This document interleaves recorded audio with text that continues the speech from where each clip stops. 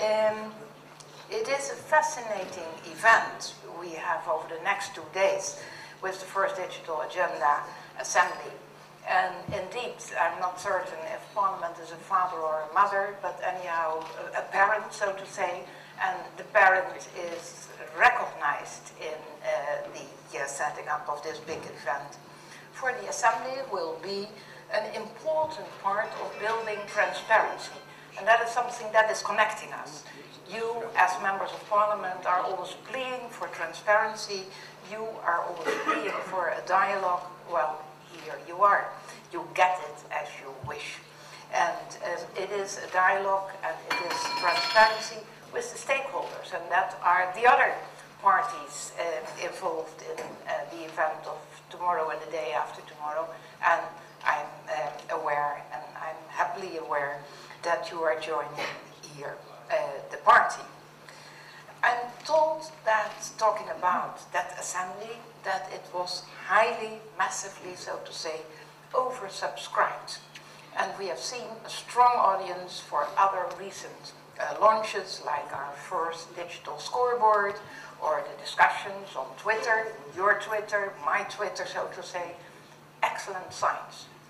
With that fact that it is so massively oversubscribed, I think that we have to discuss for the next time how we should organize it. Should we organize such an assembly in person, in Brussels or wherever, or should we use just all those new possibilities and opportunities and get far more audience all over the 27 member states. So be aware, this is a tryout, so to say. So we have to get your input and your feedback for and after your experience, and by the way, my experience. Last week, by the way, talking about Twitter, and I'm a bit proud of that, so you can't blame me for, and even if you are blaming me, I take that for granted. I hit uh, uh, 20,000 followers on Twitter when a young guy from uh, Cairo signed on, and I think that is a absolutely perfect symbol of the public interest across the globe and what we are dealing with in this portfolio. It is not a boundary, it is the globe, so to say. So please feel free to join in and follow me, follow me too. More seriously, I don't want to recap everything I've said in the last few weeks to Parliament. I've been intensely yeah, um, uh, asked by, uh, get opportunities to have serious discussions. Um, it should be too much detail for tonight.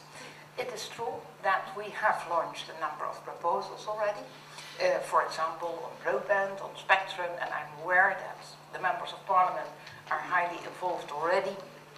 We have clearly defined the Commission's role as a, a catalyst and as an enabler, keeping 90% of the digital agenda on track.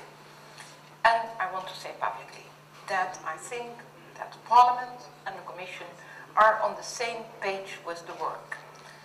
We might have small differences, and perhaps some of you are thinking, small, what type of definition are you using for small? But anyhow, there are a couple of differences, no doubt about that, but I think we have a very valuable partnership.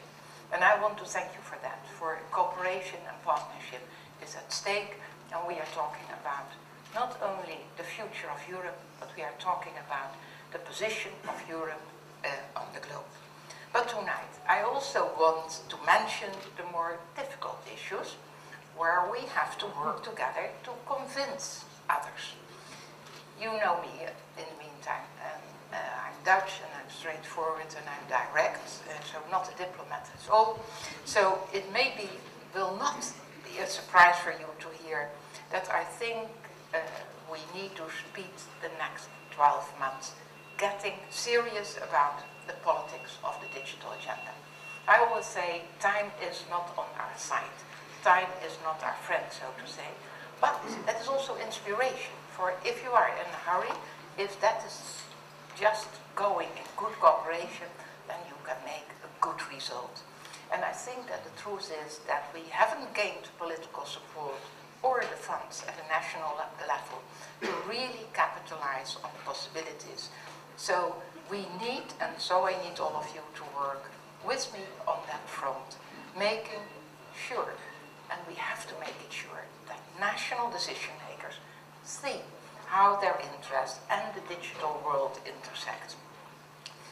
I think that we have to be very pragmatic and that we don't have time to elaborate and uh, to have a dialogue on a lot of philosophies and so on. We are running out of time.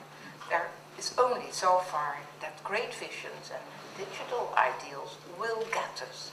We are all very passionate and knowledgeable about the ICT, and I'm aware that anyhow, there's quite a number of you on a personal base. I have great contact, and that doesn't mean that there are no differences between certain points of view, but that is even stimulating. At the end of the day, I'm aware that you are passionate and that you know what you are talking about. But for many of our tasks, those inspirations will not be enough to convince ministers under political pressure or with no money in the bank, and they need to be shown what's in for them. It could also be the moment that we can indeed get the Ministers of Finance on our side because we can prove that if it is indeed implemented, that in the midterm it is cheaper, so to say. It gives more to the people. We have plenty of chances to do that, in my opinion. Take the digital single market, for example. I'm not that sure that the digital single market is already there. So if you join me on that issue, then why not make it quite clear that it should be there? And I prefer tomorrow above the day after tomorrow. We have plenty of chances, and I know that EIF cares a great deal about making it happy, happen, and it's great economic story. Our digital economy, that is also a fact that we can use, is already growing 12% per year. Take away the obstacles, and we are still facing obstacles for the digital single market is not yet 100% implemented, so to say. Take away the obstacles and give it a policy boost. And who is to say we can't lift that 12% to name 20% per year? And that's the sort of success that leaves the Chinese economy in the shade. It's exactly what Europeans need to hear about and what they need to join.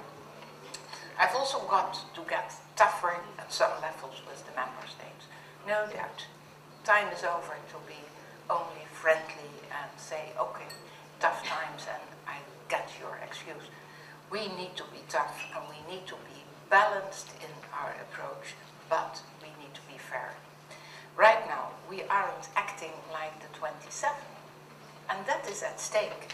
We are just dithering or looking out our belly buttons, and that's not going to cut it at global negotiations or in dealing with the new economic powers or in creating the number of jobs, new jobs we need. So, what issues are on my hit list? and then talking about the next 12 months. I won't give away all my secrets tonight. You can't blame me for that. I do expect you to tune into the Digital Assembly for all those details. But let me mention a couple of my issues, while assuming, of course, that research underpins every priority. One issue that is gaining more prominence it is trust and privacy. And I'm hearing it and seeing it everywhere. I think it's holding back e-economy, e-commerce, so to say. And I think there are real fears that unchecked technology will destroy jobs and eliminate control over our way of life. And that is something that we can't dismiss. We have to deal with it very seriously, you and I myself. An industry needs to play ball and factor in thinking like by design. And the last thing I want is for our digital enthusiasm to be portrayed as support for a 1984 type society. That's not that So my line is that ICT and European values are inseparable. Whatever issue we pursue, I think we also have to be very realistic about the situation consumers and businesses face on the ground. And I think it's terrible that we are still sitting here in 2011 in Europe unable to buy the music, the books and other things we want online. And all the while there is an illegal alternative just sitting there tempting people. It's not good enough that citizens experience that sort of thing. Not to mention credit card problems and spam and rip-offs with their broadband or mobile. We can't get complacent just because the digital world is expanding. There are serious problems out there that will bite us if we don't tackle them soon. On the positive side, the digital revolution is the chance for our young people to transform the economy and rewrite the rules of society. So my overall message is that we can either invest in our future or be stuck in the past. And the choice is as simple as that. So let's make the right choice. And you are very valuable for the digital agenda. I wish you a great time over the coming days and the next year of the digital agenda. And please join in the cooperation. Thank you.